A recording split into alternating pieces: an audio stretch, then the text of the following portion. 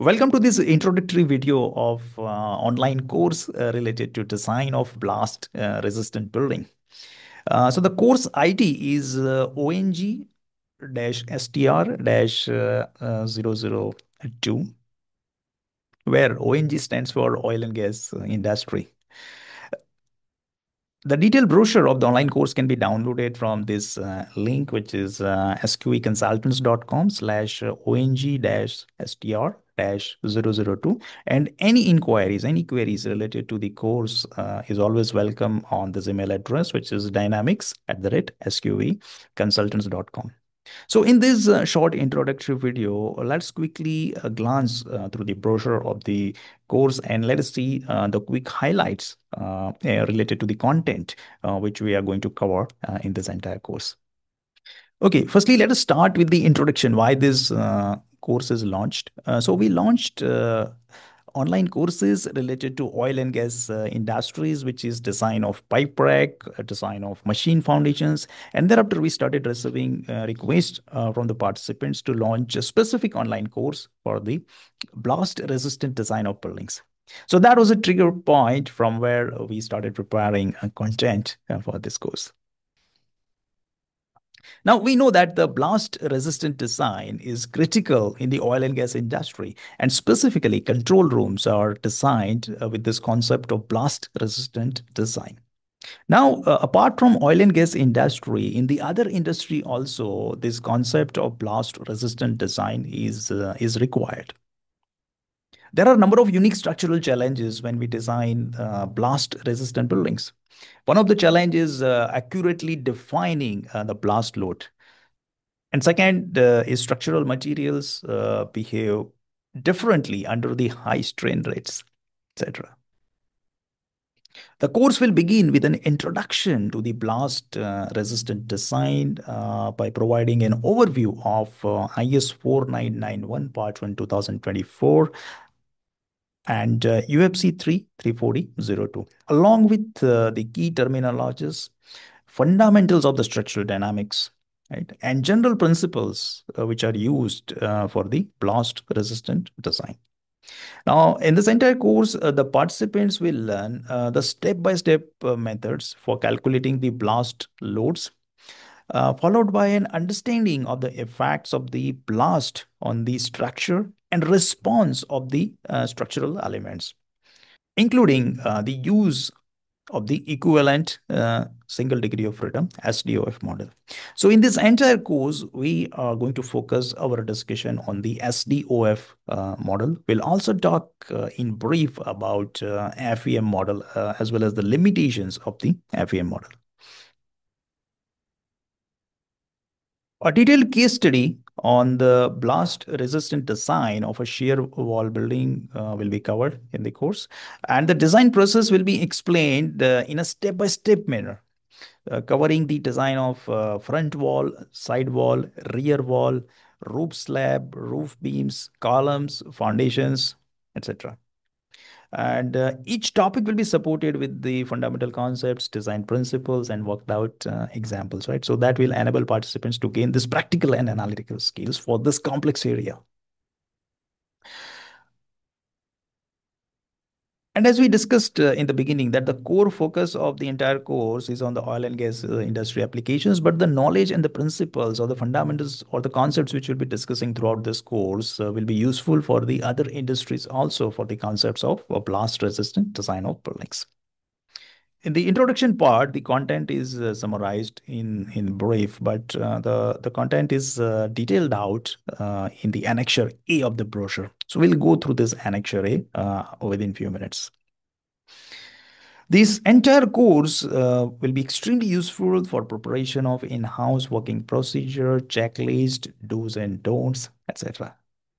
Okay, so you can just download this brochure and you can see all all these details uh, which are mentioned here. Okay, so all the sessions uh, will be recorded and will be stored at our online portal. Uh, so let's say if you cannot attend the live session, you'll be able to see the recorded session at your convenient time. And then you can uh, put up your query in the designated WhatsApp group. So from where we'll collect the queries and then those queries can be addressed or can be discussed in the next session. The participants can also opt uh, for this entire course in a self-paced uh, mode. So that means, uh, for example, maybe because of, let's say, the time difference, if they are uh, not able to attend the live sessions, they can also watch the recorded uh, sessions and then they can always interact with us uh, for the queries, doubts, etc. through the designated WhatsApp group. Okay, so you can just download this brochure and you can see all this detail. Okay, so I'll be conducting this entire course for design of blast resistant buildings. Okay, so the course will commence from uh, 30 October 2025 and it is likely to be completed on 21st November 2025. The sessions will be conducted on uh, from Monday to Friday from 8:30 p.m. to 10 p.m. Indian Standard Time. So details of uh, fees are mentioned in the brochure. You can uh, read this uh, content in more detail.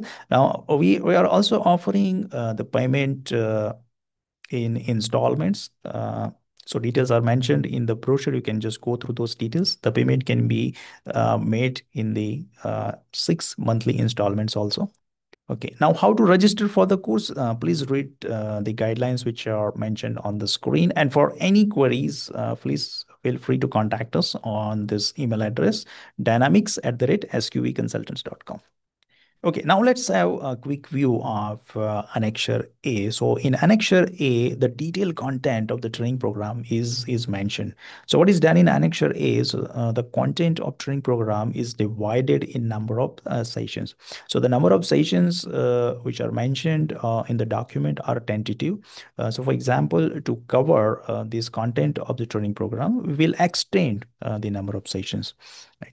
Because in all the section, uh, all the sessions we actually encourage uh, interaction with the participants. So maybe because of the extended q&a session it may happen that we may not be able to cover a uh, certain part in in let's say uh, one of the sessions so those balanced part will be considered in the next session. Okay, so firstly, we'll start uh, with the introduction uh, to the blast uh, resistant design, and we'll try to understand all different terminologies which are being used, like uh, arrival time, uh, detonation, charge mass, close in detonation, uh, decay parameter, overpressure, positive phase, reflected overpressure, scaled distance, support rotation, etc.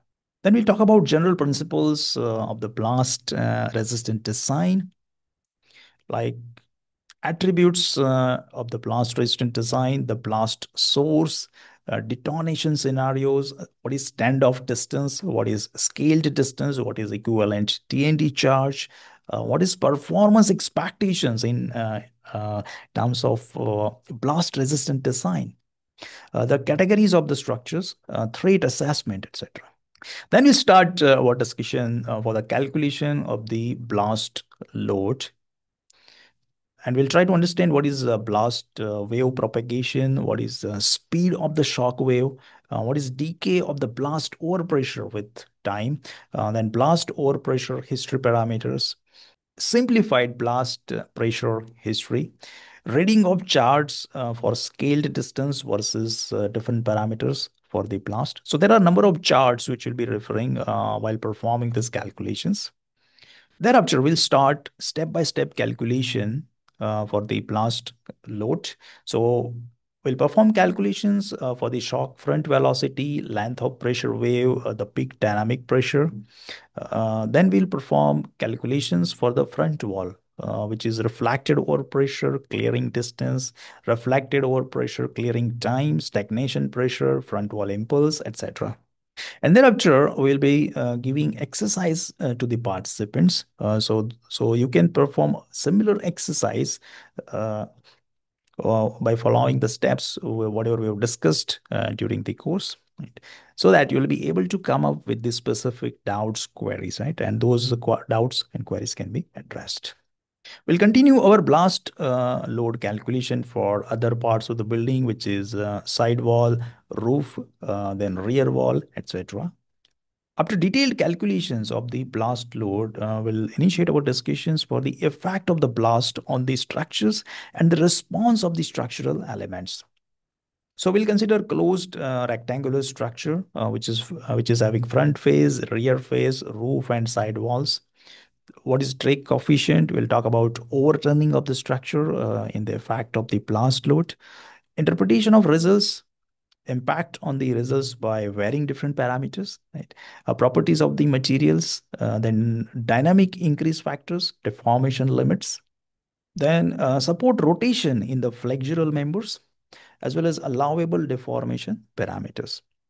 Thereafter, we'll start uh, detailed discussion on the SDOF, which is a single degree of freedom model. And as we discussed in the beginning, uh, our all calculations will be based on the SDOF model. So we'll try to understand what is uh, effective mass concept, effective stiffness, uh, the deflected shape, uh, effective time period, everything in the context of the blast resistant design.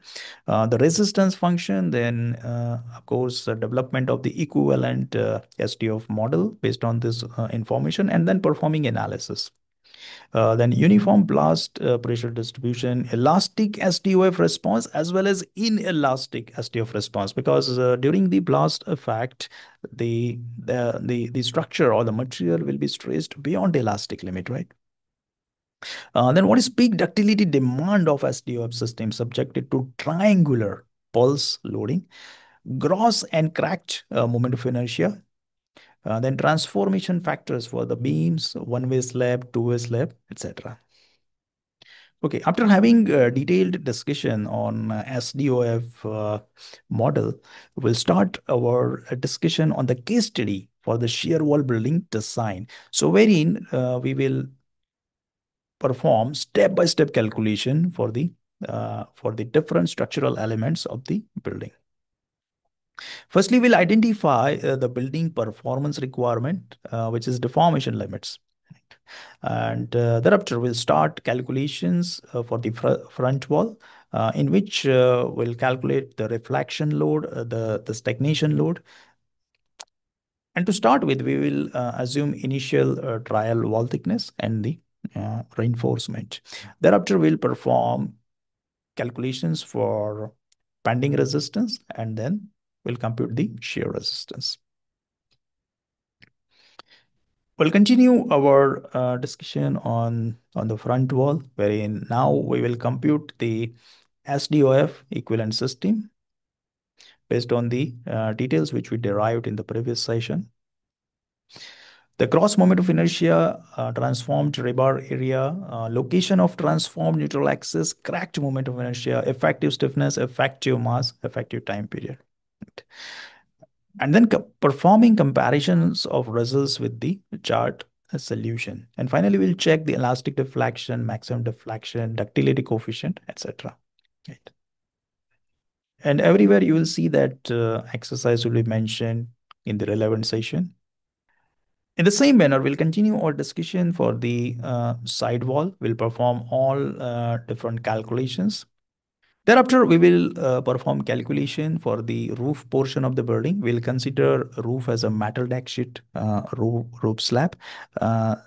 Uh, so we'll perform step-by-step -step calculations for the blast load as well as uh, we'll utilize SDOF model for checking adequacy of the initial design assumptions, whatever we have made with reference to thickness of the slab, reinforcement detailing, etc. Thereafter, we'll continue our discussion for the sidewall in plane in plane loads. That means uh, the loads which are exerted on the front wall uh, will be transferred to the uh, side walls. So for the side wall the the load transferred from the front wall will become actually in plane loads right? So so the detailed calculation will be performed for the uh, checking adequacy of the side wall panel for this in plane loads. Similarly uh, the detailed calculations uh, will be performed for the roof slab for the out of plane loads Thereafter, we'll perform step-by-step -step calculations for the design of uh, uh, roof beams. Thereafter, we'll perform step-by-step -step calculations for the uh, roof girder. Thereafter, we'll be taking up design of columns for the shear wall building. And finally, we'll be taking up design of foundations for the building. In the last session, we will have open discussion as it is mentioned in the brochure. So I will try to summarize uh, uh, in brief the content which we are going to discuss uh, in this entire course. Okay, so you can download this brochure and please feel free to connect with us for any uh, specific queries related to the course. Okay, so the course will commence from 30th uh, October uh, 25 as we discussed. In the last uh, part of the brochure, uh, we have mentioned certain uh, useful links of the resources, which will be extremely useful for enhancing your structural engineering skills. So just go through this brochure and you can refer the details or the content in which you're interested. And then feel free to connect with us for any specific queries, okay? Okay, so looking forward to see you uh, inside this uh, unique online course related to design of blast resistant buildings. Thank you.